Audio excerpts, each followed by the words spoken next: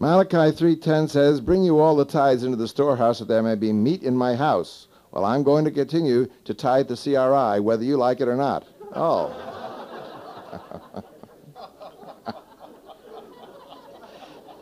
My class does communicate rather radically with me. I never have any problem understanding what people think around here, you know. I've just got to teach you guys to be more articulate, you know, to speak your minds more freely. What greater storehouse of knowledge is there next to CRI? And we always are receiving meat from the word of, from you. Your stand on refusing to tithe is obstructing the windows of heaven and pouring out the blessings for us. Ask your, your audience if they agree with me. God bless you. They even left a telephone number here for me to call if I want to argue.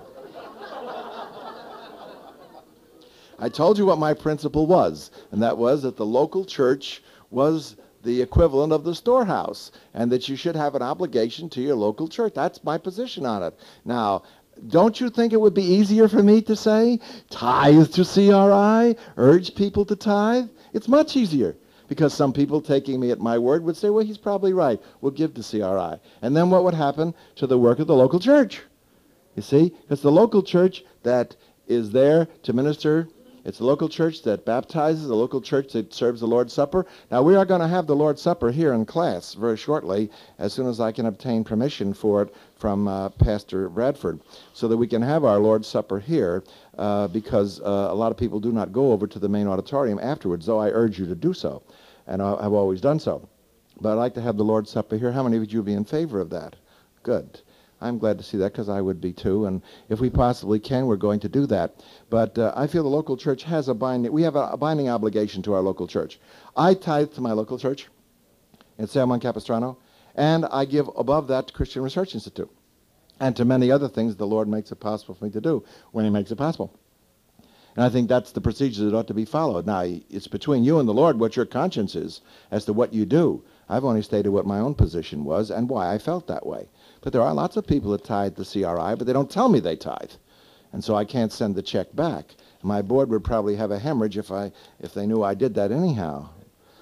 A friend of mine has a sister who lives in Chicago. The sister's name is, okay. Susan called me the other day asking me to pray for her. She has lung cancer. She's a Christian, but for a while was hoping crystals could help her, only to the grave.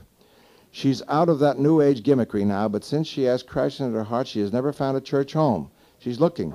Many churches are liberal. I told her she should be anointed with oil and prayed for by the elders. She's occasionally attending an Episcopal church. Would you pray for her? Yes, we will. The doctors have stopped the chemotherapy and she is under 100 pounds. She feels like her hope is not to be found in, in cures this world has to offer. She has tried them. Yes, there is a time to be born. There is a time to die. And there's not much when that time comes that we can do about it. It's known to God as all things are known to him before the foundation of the world. I've often said you can hurry things up by overeating, drinking, drugging, abusing yourself, and that's all taken into the divine plan, into consideration. But uh, in a case like this, we should pray for her and it's in, if she lives in the Chicago area, then she should go to Moody Memorial Church, which is a very sound gospel preaching church right in the heart of Chicago, where she certainly will hear the gospel.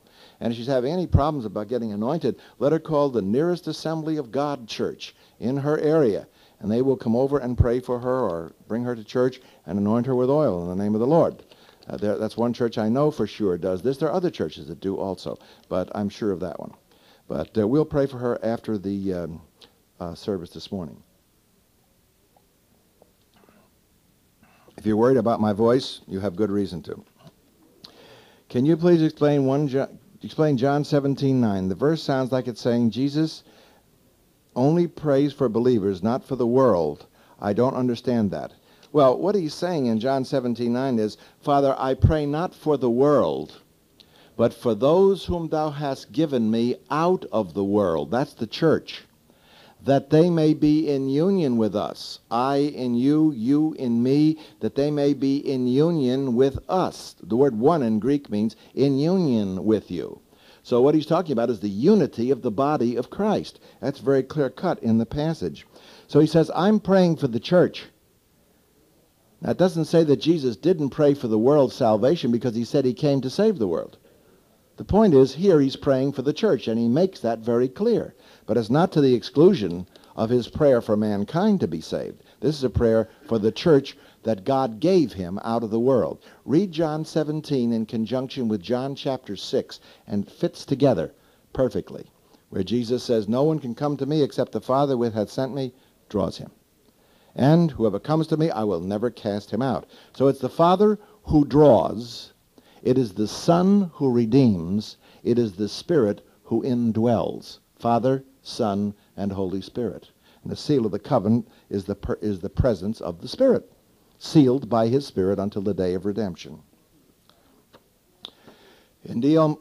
in D.L. Moody's book, Secret Power, he talks about waiting in Jerusalem to be filled with the Holy Spirit prior to going out and effectively witnessing. Does this mean we shouldn't share the gospel until then? And, and uh, long, how long should we wait for this indwelling? Well, Moody isn't saying that you uh, not witness. He's saying that in the case of the apostles and the early disciples of Christ, they received power from the Holy Spirit to go out and witness Jerusalem, Judea, and the utmost parts of the earth. They were indwelt, but they had not been baptized with power.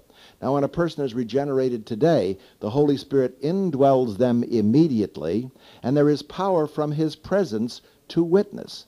What Moody's talking about is getting more from God, more power from God, because we have this treasure of the Spirit in earthen vessels, and we leak.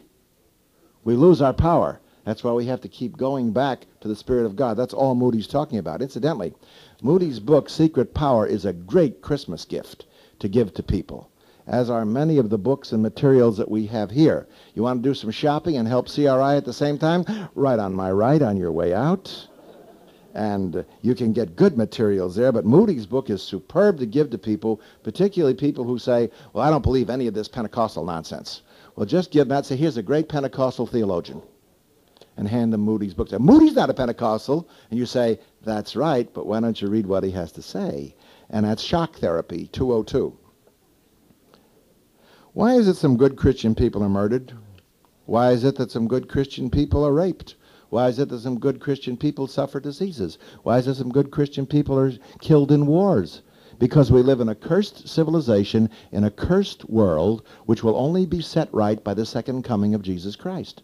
The miracle is that God preserves so many of us. Did you ever ask yourself how many diseases you have been spared?